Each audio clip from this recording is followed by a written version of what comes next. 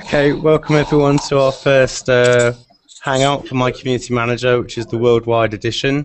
Um, you've all seen Tim McDonald's uh, hangouts, I think, on Google Plus. And um, for the first hangout, we're going to do uh, the ROI with online communities with Adi Gaskell.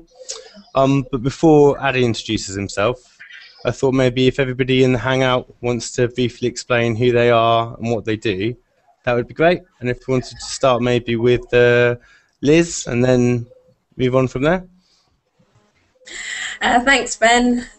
Um, I'm Liz, and um, I work for StopThinkSocial.com. I host a Monday show on Social Inside Your Business and Thursday Twitter chat. Um, and I'm community manager for our social business SW chat community. Okay, cool. And um, Steve? Um, yeah, I'm Steve. I'm in Amsterdam. I work for, uh, I have my own agency called Storywise. Um, we're focused on editorial strategy, which is basically content which feeds communities and feeds social business. Okay, brilliant. And um, Kass? Uh, so I'm the community manager for a social Q&A site called blurtit.com. Uh, so we're kind of like the biggest rival to Quora, we like to think. But uh, and yeah, I organize like online and offline events in my in my spare time as well. Okay, cool. And you've got a hangout on Friday. You're doing what? What was that about? Um, so that's that's to do with the with blurtit.com with our site. Uh, sort of like a community engagement event and, and, something that we're trialing to sort of you know get people to engage with each other and uh, yeah get a bit more traction on our site really. Okay, cool. And and Jack, do you want to explain um what you and I do? Sure. I work uh, with Ben. Uh, we're both uh, community managers for the uh, site uh, BizCrowd, which is run by the banks NatWest and RBS. Uh, basically, the idea is just to connect uh, kind of B2B connectivity for small to medium enterprises and to get them on the site and generating uh, some good business leads, basically. Okay, and Adi, finally, um, I've, I've been reading your blog, which is why I wanted to invite you to the Hangout in the first place. Thanks for your patience getting it set up. Um, do you want to explain a little bit about yourself and what you do? Yeah, I, I kind of come at the um, community management angle from the very much the enterprise side of things. So I'm, I'm looking at social business and how um, organizations can tap into communities to improve their innovation, their product development, their financing, and that kind of thing. Um, it's a, a, fascinating area of work to, to be in. I'm sure you'd all agree, and hopefully this will be a, a fun session to take part in. It's my first one as well, so hopefully it'll go well. That's right. And um, yeah, we had a few technical troubles. Hopefully, that's not going to be visible from from the recording. But um, we we were hoping to talk to you about sort of the uh, the ROI of community and sort of maybe um, the value you can get from it, and um, maybe how to measure it. Um, and so I sort of thought maybe a good initial question would be, you know, what is a community? Whether it's you know a hashtag or a search term or a forum. Do you think that's sort of an important question to ask before you go on to the ROI? Yeah, I think it's it's certainly a good question to ask because with any community, first of all, you need to figure out if it's worth having. Um, I think the very best communities out there have a a common purpose that sort of tie them all together, and that, that is in essence what what binds the community together. Um, and so we don't have that purpose to begin with, then it's very difficult to, to have a community. Um, and I think too often as a as an industry we get bogged down by the various platforms that are out there and we have to have a Twitter account or a Facebook page or a LinkedIn group or anything. And we, we lose track of what it is we're trying to achieve with our communities. Um, and so I think it's always valuable if you boil it down to its bare essence and figure out what it is you want to achieve with your community, um, what it is that will derive value for the for the members of that community, and then figure out whether it's a, an online community, an offline community, whether it's doing something on Kickstarter or um, Facebook or anything like that, and, and, very much leave the technology to the end um, and work out the, the cultural side of things first. I was, I was reading a lot of blogs yesterday, and I don't know if it was yours or maybe another one, Richard Stacey's, or but someone was saying that a community is more of a process than, than the platform. Would you agree with that? Yeah, I mean, definitely coming from a innovative, um, from an enterprise perspective. I mean, we've we've seen recently um, Yahoo have been sort of banning people from working from home, and the rationale behind that was to get people into the office more and, and having those sort of serendipitous conversations with each other and, and hoping that will spark innovation. Um, so they're trying to have their community at the, at the Yahoo HQ rather than relying on the sort of enterprise social networks that you have on your intranets and that kind of thing to, to do that for them. Um, so I don't think necessarily a community even has to be online. It can be a very much an offline thing or or an online thing. Um, if if anybody else said, it's about the people rather than the tools you use to connect people together. I was just saying, if anybody wanted to chip in, then just uh, just to say so. Obviously, as when Adi's talking, because I might I might forget to ask. Um, does anybody else have anything to say? Yeah, I'm, I'm just wondering what what uh, uh, how do you actually define a community? Ad. Um, I suppose it's loosely defined as a group of people that are, are getting together around a, a common purpose. Um, I think that kind of sums it up quite succinctly in my eyes, certainly. So if we have um, if we have people, for example, on Twitter that are um, say sharing content around a particular topic, does it, is that enough to say that's a community? Uh, I mean, we, we had the the Boston bombings recently, where a lot of people were taking to Twitter and, and Reddit and places like that to to help with the crime fighting efforts um, and help to hunt down the people that that did that. Um, now, I, I, think you could argue that was a, an impromptu community developed around that shared purpose of, of trying to find the people that that set the bomb off. Um, it wasn't something that anyone designed. Um, it was very much an impromptu thing, but I, I think it was very much a community still. So is, is one of the challenges then for, um, I mean, it's certainly what, what I've found with um, uh, working with my clients is that communities can either form themselves um, uh, impromptu and, they, and they're, they're fairly temporal, but then the real trick for enterprises is to actually uh, nurture and su sustain engagement over time, and that's actually what makes a community, right? Yeah, and it's, it's certainly difficult to sustain things. But uh, again, I don't think it, it's necessarily a bad thing if the community has run its course that it, it does dissipate. Um, unless you have that ongoing purpose that that binds it together, then I don't think it's necessary that you have to keep it together for community's sake. Um, I mean, if you've got a community that come together, for instance, to raise money for a particular startup on Kickstarter, um, the core purpose of that community is to raise the money to help get the the venture off the ground. Um, obviously, you could argue that it's nice then to keep that community together to help them um, engage with the, the, company that they're founding. Um, but that's a very different purpose, I think, with a very different mm. outcome. So, so can I just ask, Adi? So, so would you draw two clear distinctions for online communities? Kind of one between one kind of type of community that pop up, like the Boston bombing example that you gave, that pop up just through social causes and they're quite fleeting, and then the other that are quite clearly designed for kind of, um, you know, for ROI and for, for a business purpose. Would there be like the two categories that you'd put communities into, or do we have others? Um, I'd say both of them have a very clear purpose. I mean, it's just the time scales differ as to how long it takes to achieve that purpose. Um, I mean, with the Boston bombings, once they've found the people that had conducted it, then there's not really much need for that community to to stay together unless they're they're planning on forming some kind of Batman vigilante group that go around trying to solve all manner of crimes in in Boston. Um, so you sort of like a community has um, a community once it's delivered the value to an extent, then it doesn't need to exist anymore. So suppose that leads you on to like what value a community should deliver, and maybe what the ROI of it needs to be and how you measure it.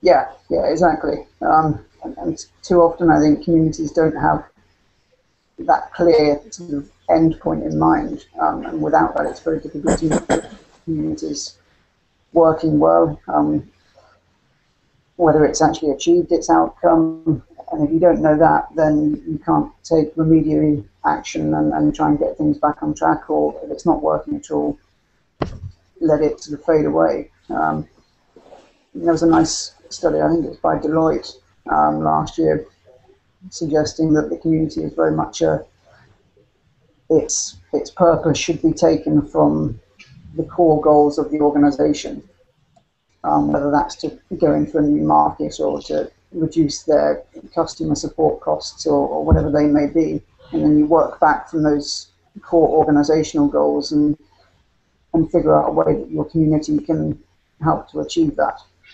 Um, and it sort of breaks down into a, a social ROI and a financial ROI.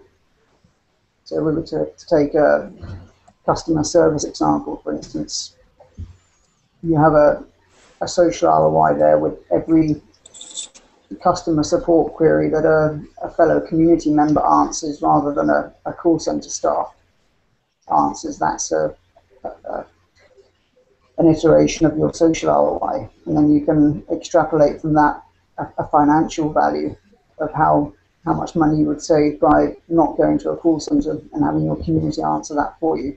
Um, and if you can have those social and financial ROIs going in the right direction, then I think that's that's a nice way of measuring whether your community is working. Uh, I wonder if people think that there's. I mean, um, I've been sort of involved. I've watched a few communities where sometimes you might think um, what the what the founders, what the stakeholders of that community, what their interests are, and what the members' interests are aren't sometimes always aligned. Do you see what I mean? And you know, obviously, I mean, that's very important, isn't it? That the proposition is attractive to everybody involved. It's got to deliver value for the founders, but it's got to deliver value in some sense for the people that are participating in it. Um, and I wondered how that would tie in, or what anybody else thought. Does anyone else want to kick off on that? Liz? well, actually, I mean, I, have got I've got a sort of conundrum based on this really at the moment, where um, we have a main owner, so we don't have any investors or, or anything like that. Uh, and I mean, essentially, he's looking for people to join our community to create content that he can monetize. Um, and so, like the the ROI for him is quite quite clear. Like what what we offer in terms of building this community is content that he can monetize, and he can quantify that, you know, through through whatever channel he's using. Um, uh, but then for, for us to then sell that to our uh, our audience or our consumers or our, our, our community, um, we have to define a value to them as well. I feel, um, and I don't know I don't know how successfully we're doing that, but I'd be interested to see like what everyone else thinks about how you communicate uh, value of participation or how you make yourself appealing to to your community. I guess, um, which is I guess quite quite a broad subject. Um, yeah, I, yeah and, and, maybe just balancing those two things out as well. Yeah, I, have had a little experience of this with um, um, a couple of my clients, and, uh, and typically, um, especially if, you, if you're a larger enterprise, use this example of, of actually um, helping. You know, the, the objective is to monetize content that somebody else produces. If you can offer the exposure uh, for these people, um, if you can offer them a platform to get them recognition, I think this this is a nice way of uh, um, of actually giving something back. So so so there's something in it for them, because otherwise it's just like I, I just want to exploit this community. Sure. Yeah. Yeah. Um, yeah I mean, Lego is quite a nice example um, because they they took their sort of online community and, and the very best members from that community. Um, what was the name of Adi? Sorry. Uh, Lego. Oh. Um, and, and they they took those sort of core members and they they started sort of co-creating their next generation of products with those people. Um, and I think that's quite a, an attractive proposition um, for people that clearly love a particular brand. Um, if they can have a hand in, in sort of creating its future, that's that's pretty attractive, I think. Um, and it helps to marry up their individual ambitions with the ambitions of the the organisation and the sponsor of the community itself. That's what they were quite. They were quite technical people, weren't they? I, I remember reading that when he sent it to me. They were quite sort of techie, sort of like they weren't school kids in a in a school building Lego. They were like it was No. it was more than that, wasn't it? Yeah, it was the grown-up kids. and then and what happened to the and then they they built a whole new kit. It was going redundant, you said, and then um, Lego asked them in. It was quite a small group, and then uh, and, and they brought a whole new sort of product range. Is that am I right? I think, Yeah, saying that? yeah. I mean, it's a, a sort of modern take on a on an old-fashioned focus group, I guess. So um, I suppose the main question, or bringing it back to the original point of the hangout, is how, you measure the ROI, and and I wonder how. I mean, all the community managers that hear and that, that, that watch these hangouts, how much time they need to spend really thinking about ROI if they're going to be involved in the community. How important would you think that is? Um, I'd, I'd say it's pretty fundamental. Um, e- even if it's not something that really gets our juices flowing as community managers, it's it's pretty certain that it's going to get the juices flowing of the people in in the boardroom and the C-suite um, because their their sole interest really is in in outcomes. Um, and, and if our communities aren't providing the outcomes that matter to them, then we're never going to get traction in the boardrooms and get the organizational wide support that we want to to make these communities a, part of the the DNA of our organizations almost. Um, and it's going to be tough to get it out of the marketing department that most communities exist in at the moment. So, something I think that you know often we can talk about is sort of the opportunities to create, or you can you can find instances where people have um you know good good interactions in the communities and, and you do provide value. But I was talking to our um, ops director last night about the hangout, and he sort of has a financial background, and he was saying from his point of view. Um, you know, if we were sort of running a community for him, it's very important for him to be able to assign a value to the community and and I suppose that's what um that's the thing people maybe side skirt a little bit isn't it you know saying how how do I assign a value to the work that we've done to the, to the community that we're running does anybody have any thoughts about that I, think starting, uh, um, I mean, if, if you want to get towards a return on investment, you first need to know how much it's going to cost.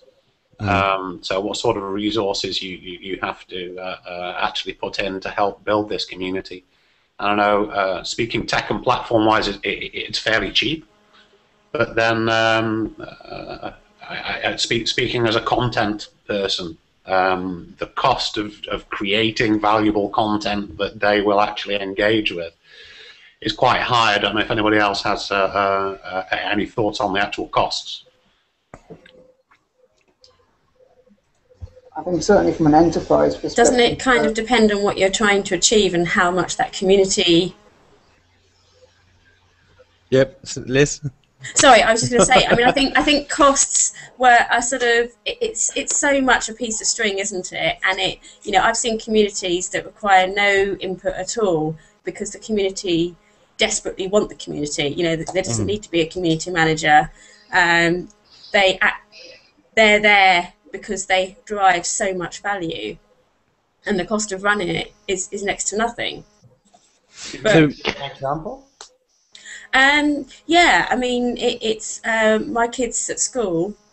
Um, we have community, we have Facebook groups for each school year, and the parents are, you know, desperate to be involved in those communities because they ask for homework and things like that. That's a, a community where there's real value, um, because people need the information. You need to connect with people.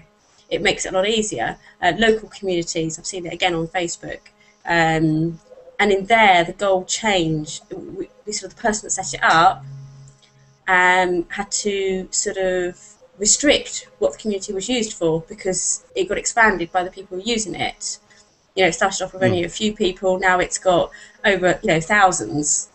Um, local people sharing stuff they want to sell and and roadworks and and all sort of useful information. There's a desperate need. I mean, nobody really runs it just people are desperate to share that information and interact and people ask questions and they respond. It's Uh, I like the I like your example of the of this of the school or the you know the, the college community or someone like that where they're running that community. And if you if you were put on a spot and you had to assign like a value to it do you think maybe you'd be able to say that that had saved um, you know if if a college or a school was to be running that kind of community they're not sort of doing sort of the newsletters they're not investing the time into having to connect all of those different people up so there is a real sort of return even if it's not sort of as an, an overt value the way that you might imagine it Exactly. I mean, there's. I'm actually in talks because at the moment, um, you know, Facebook groups for schools is is quite not quite cutting edge, but you know, a lot of schools are saying no. A lot of parents have been told you're not allowed to create groups.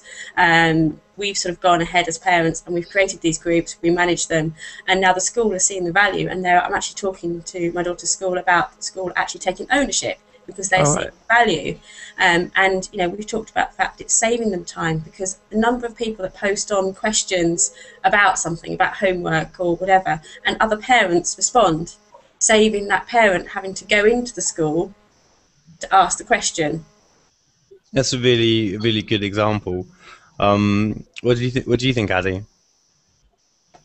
Yeah, I think there's some fascinating things going on in, in the world of schools and, and their use of social media. Um, and I've come across a couple recently where they're using platforms like Google Hangouts and that to collaborate jointly on projects with, with other schools in, in other countries around the world. Um, which I think is pretty neat that you can team up with a, a school in New York on, on your science project. You know, I think that's that's pretty exciting for kids. I mean, it gives them a, a nice cultural experience um, and also gives them a, an understanding that social media can be used for, for helping them with their work um, rather than just for playing Farmville or, or mucking around and things like that. Um, so it's, it's good in any number of ways and it obviously ties back in then to the results they're achieving in their exams and their coursework. The um, let's say the thing that strikes me about the Facebook community, or sort of like a college, is that there's sort of a common need there, isn't there? Everybody's involved in that sort of institution, and it's not sort of I wouldn't say the interests are separate, are they?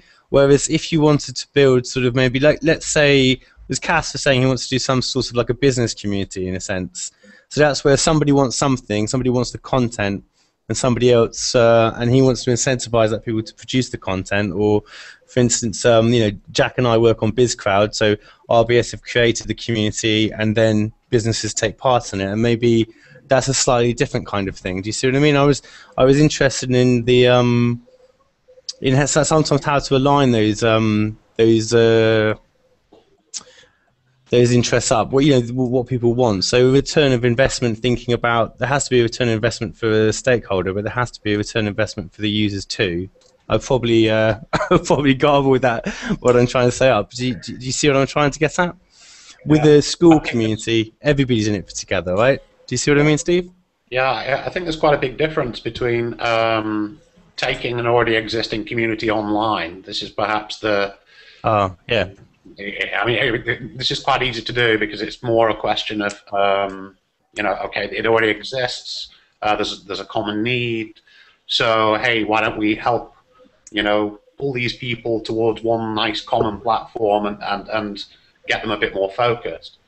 But you have to, if, like you're saying, if you have to move from scratch, um, so if we, if we take Lego and schools and actually uh, uh, people who are already engaged around something, as opposed to um, trying to create from scratch, and I think IBM is probably uh, um, uh, a better, uh, uh, a good example of this.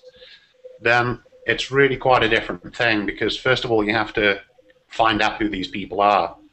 Um, obviously, you set your goals, and um, AD, do you, do you, do you think you know what what's the strategy on on creating a business community for say a big enterprise, a big corporate B2B, say? Well, I mean, you mentioned earlier, Steve, about the, the costs of setting up um, communities, and I think we all all know that, that the technical costs and the software costs are actually probably quite low in a lot of instances. Um, there, there, there's lots of software out there that doesn't cost a whole lot to create. Um, that in an enterprise sense, there are quite significant political costs involved in, in trying to get a community set up because you need a lot of collaboration from across the organization to get the thing working as you'd like it to work. Um, so there's a quite a strong argument, I think, to almost set up a, a skunkworks type project where you're having lots of communities that are very small in scale, very focused, very niche. Um, you can get in some early adopters and people that are very engaged early on in the project. And then if it doesn't work, it hasn't cost much in terms of financial cost, it hasn't cost much in terms of political cost, and so it's not going to sink the entire social business um, ethos if it doesn't work. And you can try out a few different approaches, a few different niches that you want to try this thing in. And then when you do find something that works, then you have the the real results in terms of ROI that this is delivering real benefit. And you also have some early early adopters that you can use as champions to help spread it a bit further throughout the organization. Um, so hopefully with the ROI you get the senior managers attention. And with the champions on board, then you're getting the people that will help spread it organically throughout their, their individual departments. So I, I think I'd very much advocate starting small so that you can afford to fail and fail in peace without it sort of jettisoning the, the whole project. Yeah, I, I think that this is something that um, I, I, I, was sort of to help um, uh, illustrate this to clients, I always talk about the Fab 50. Um, so the, the 50 most uh, uh, fabulous people that are really engaged with your, your brand or your company. Maybe they're your happiest clients who actually send you back, you know, wow, really love your product. Uh, um, you, you, see them sharing a lot of content. Um, so, so these fabulous 50 are, are, a great place to start with because if anybody's going to become um, a spokesman in the community, an, an upstanding pillar of the community, then it's these folks, right?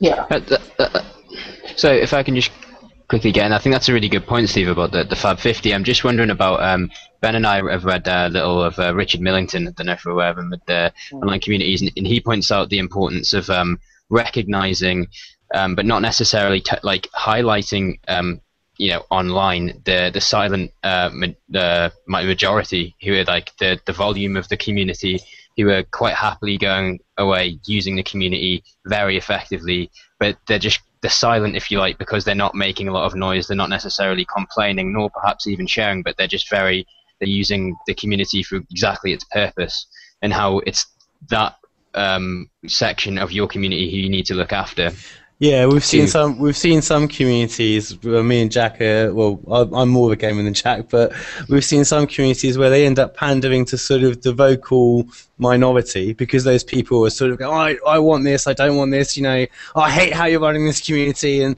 and then suddenly people are running, you know, bending over backwards to change for these small vocal minority, when in fact the majority are silent because they're happy, and when you're happy, sometimes you're not always vocal. Is is that sort of the point you were talking about, Jack? Yeah, exactly, exactly. I just thought it was an interesting um, point to uh, put alongside Steve's because Steve's saying you, you, can champion these kind of vocal users, which I think is a is a good idea. But as well, you got to acknowledge that a lot of the users who are silent are going to be are going to be content too. I've I've read Adi some interesting stuff um, about sort of the difference between you know sometimes people target influencers thinking that's where the value lies, but maybe you know it can be argued um, that sort of it's much more important not about who the person is in terms of whether they've got a clout score of 60 um, when you're building a community, um, but more it's about listening. Like social media is about listening and sort of um, spotting when someone's doing something. It's about behaviour, you know. So when someone's recommending your, uh, you know, your community or they've got a problem and then responding to it. Um, I don't know if that's. Uh, I think that's is that is that the same thing as Fabulous Fifty, Steve, or you know, just spotting when someone is being sort of an advocate of your community when they are being influential, or do you think those 50 people are always the same 50 people? Do you see what I mean? Yeah, I, I, it's an interesting question because the, um, there's quite a few people, especially these more vocal people. um, they're, they're often great to, to, to, to get some uh, um, kick off some action, but quite quickly, because they share a lot and they're, they're quite influential, but then quite quickly, um, uh, as, as was it Jack? I, I, think you were just saying that uh, the, the silent majority are also equally important. Hmm. Well, so, yeah, arguably, if not more so. Yeah. And to flip it round a bit, how many of us know um, what sort of percentage of our Fab 50, to use Steve's phrase, are, are also our, our best customers? Can we can we connect up in our CRM systems the best community members with our best customers in a financial sense? So I'm not sure that many CRM systems are are doing that particularly well at the moment. And it's a bit of a, a blind spot, I think. Yeah, I've uh, I've used Fat Social and I've used Nimble. Um, I never really got on with Hootsuite very much, but I'm not saying I know there's a lot of fans of Hootsuite out there. Um, what? Um, yeah, I think um, I know for myself. Sometimes I've been very focused on sort of trying to do a good job in terms of value and sort of looking after people um, within the community and sort of reaching out. Um, and then sort of talking to people like you guys, you know, reading books like you know Richard Millington, reading your blog, Adi. You know, there, there's obviously a, there's obviously a high level. A lot of community managers might be good, good, good um, people, people, if you see what I'm trying to say. But um, but but obviously, if you if you want to be really good at your job, you have to you have to prove the value that you're that you're creating, don't you? You have to prove that you're whatever the purpose of the community is, that you're really delivering it. And I think it's important that you can actually prove that. And I think that's Jack, what you were saying about when we're reading richie Millington stuff. That, that that's what you are. You've got to be able to prove that you're doing what you're saying you're doing, not just doing it. Do you see what I mean? Yeah, exactly, exactly. Um, sorry, go on, andy Is it Adi? Uh, I, I, think I've got an example that might might sort of help clarify something that we're working on. Um, so obviously we've got our own platform, um, and I don't know if that's any different to how you guys operate, but uh, what we like to do is use like uh, tools like Google Analytics or Mixpanel to track what our users are doing and whether that matches up with uh, what what we'd like them to do on the site. Um, and in terms of quantifying uh, the community manager's value, I think uh, that can be like a useful route to go down because you can prove that you're you're you're guiding your your community into actions that um, are quantifiable. I guess. Um, I just thought just pause. We've got Hassan um, Mirza has joined us. Did I say that right, Hassan? Oh, we. You might need to unmute yourself. Myself. Hey, how's it going? How are you guys? Hey. Hi, Hassan. Thanks for hey, joining Hassan. us. Do you, do you want to uh, sort of introduce yourself and tell us a bit about yourself? Sure. Yeah. Um, yeah. I work. Um, I'm a social director of a um, di- Digital Banks, which is a social media agency. Um, and uh, yeah, I, you know, community management is a big part of my role. I was curious. You know, I saw Ben that you've kind of put this out, and um, we're interested in running kind of Google Hangouts too in future about topics. So I'm here, you know, to talk about community management, but also to see how you guys do a hangout because um, I think that's really cool, good way to, you know, share knowledge. That's cool. Um, we, uh, if you wanted to get uh, your name along the bottom, you can get that in the apps on the left. It says a Hangout Toolbox. Oh, what, cool. What was that called, Liz? A third. Third tier, isn't it? Is it, is it third tier? Lower tier. Third tier. Lower tier. Yeah, you don't want the lower third. You want lower the third. Hangout tool toolbox, and then oh. on the top right you've got lower third. Uh. So you go just go to view more apps, Hangout toolbox, and then you can uh, add it there. I know I know we've gone off topic there for a second, but oh, Kass, cool, yeah. No. But Kass, yeah, you were saying. I suppose that's a really good point. You're saying how you how you actually measure the, the tools that you use to actually measure what you're doing. You're saying you, you use Google Analytics. What other tools do you use? Uh, Mixpanel. so, so tracking like the journey that users um, go through on our site and what, what actions they're actually taking and how we. I mean, like for example, for us, it's quite easy for us to quantify because when users create content, uh, we can like assign a value to how much we can market that content for or whatever. Um, so we can track up like what they're doing and how much how much uh, return on investment that provides, I guess. So how do, how do you sign that uh, assign a value to a bit of content? Because I haven't thought of that. Um, well, I mean, our, our, our, revenue model is basically an ad revenue model. So we, we serve AdSense and affiliate. Ah. on that content, and we can have. Well, I mean, it depend. It, it's it's it's not as straightforward as that, really. But I mean, you can assign a sort of RPM to that content. So could so can I just ask Kass, could you see sorry was it called Mixpanel? The Mhm, yeah. could you use that and towards a different revenue system? Like you said that you're creating content so it works for that, so you can track Sure. them I from mean, when they uh, join. Mixpanel itself, you can create events, uh, so you can track up what, what users are doing um, on your site. Um, I mean, you probably maybe need to look at it. I mean, it depends on your platform, really. So I, I suggest maybe having a look at it and how it applies to like platforms that you're using. Mhm. Um, but if, if it's mainly on social media, if you're using Twitter and Facebook and stuff like that, then maybe you, you're best off just using you know the analytics tools that they provide.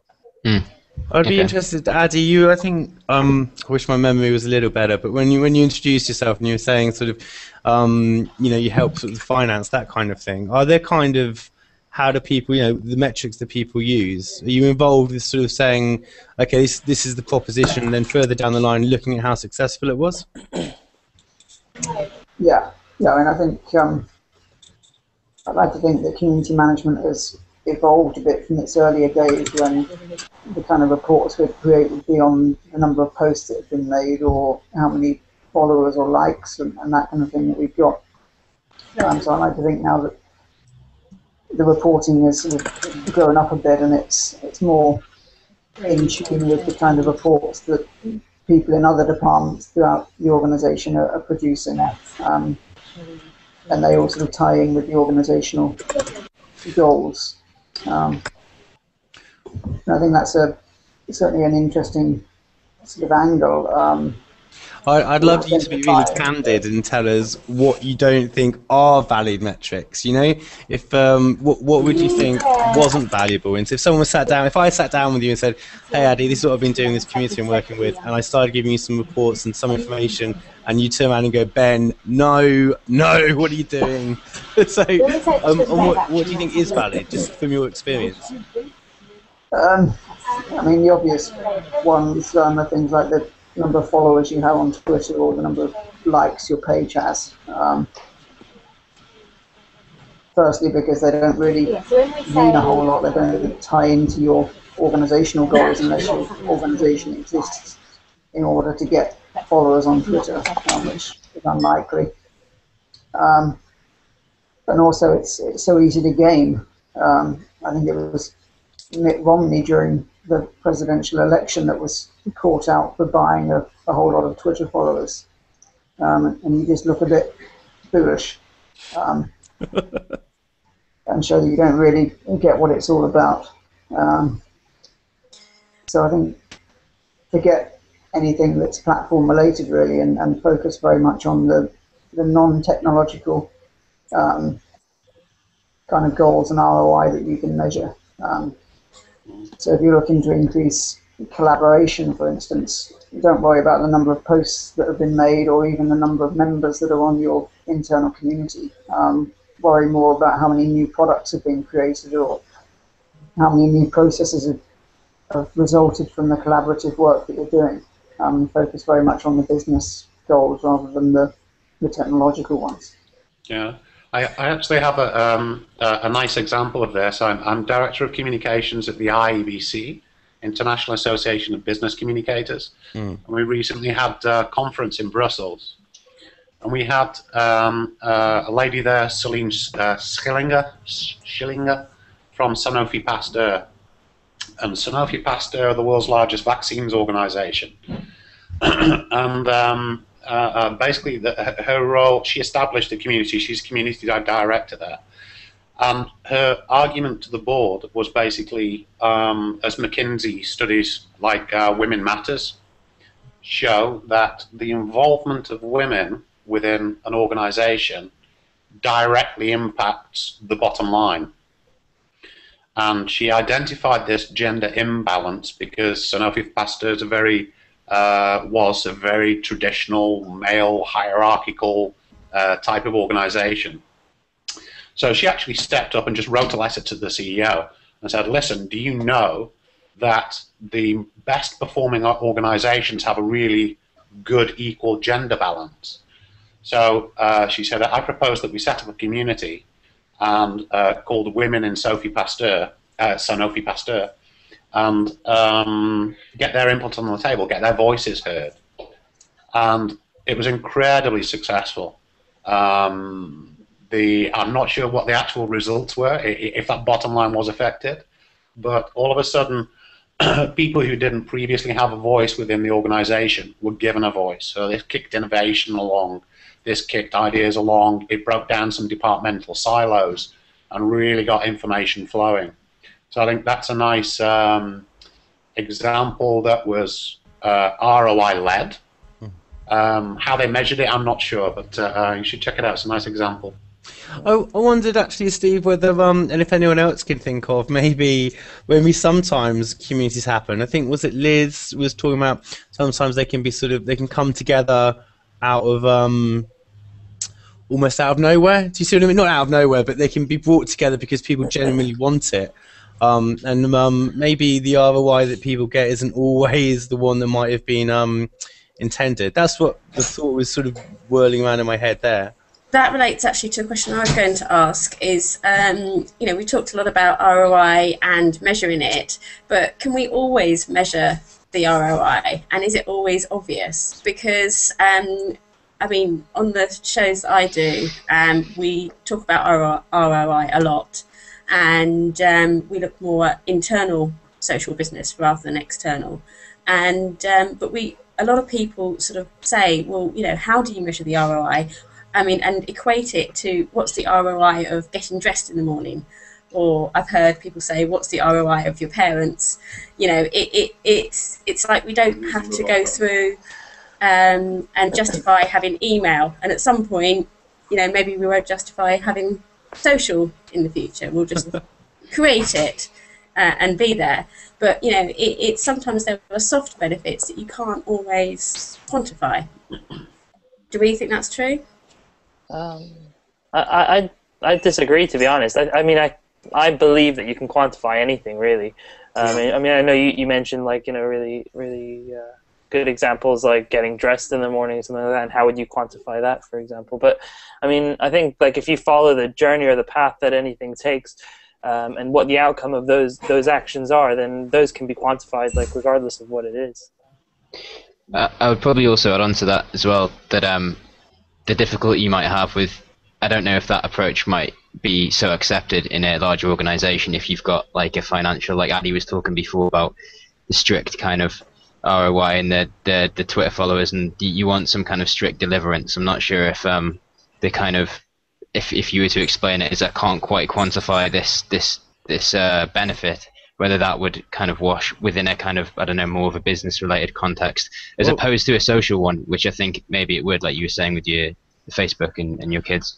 There's there's something that me and Jack talk about, or when I talk at Jack about, is and I really what Liz says does resonate with me because I often say to Jack, there's value that I'm delivering that no one's ever going to see. You know, like I know that I'm doing things that are creating value in the communities that we're working that people won't see, but there's also I feel like maybe pressure is the wrong word, but I know my ops director, and I've got to make sure that I'm showing and proving that I am delivering value. Do you see what I mean? So I think, Liz, you're right about that there are sort of maybe there is benefit delivered that isn't tangible, but I also think sometimes in the business sense, you've also got to maybe make an extra effort to, to prove that there's some value. You know, like your example with the Facebook um, group where you're saving teachers time, you're saving them putting together a newsletter. It's probably not the greatest benefit. Maybe the sense of community is more valuable, you know? But sometimes when you're talking to a finance guy, you need to be able to talk numbers and assign values. What do you think?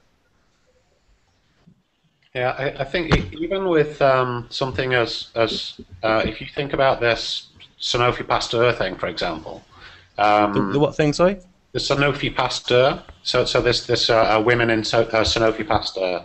Mm. Um, even if it's something like employee satisfaction, I mean, typically if, if there's sort of no community there, so not a lot of interaction, not a lot of talk. If you benchmark it first and go in and identify that objective, okay, we need to get employees happier or more informed, you, can you can always benchmark stuff.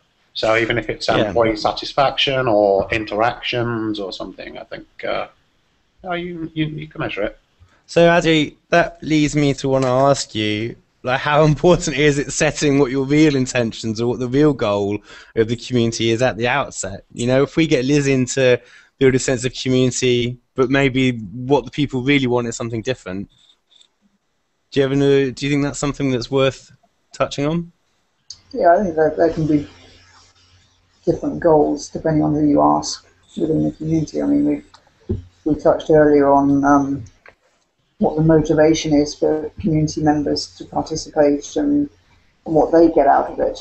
And that the motivation is very different to what the organisation gets out of it for sponsoring it. Um, and I don't think they necessarily have to um, match up necessarily. I mean, you're not going to get community members that get up in the morning and think, I, I want to make this company more money or save it from hiring people in their call centres or whatever. That, that's not going to happen. Um, but I think if you have an organisational goal and then you can cascade that down into what the members get out of it and, and somehow try and connect those two up, then I think it can be can work pretty well still.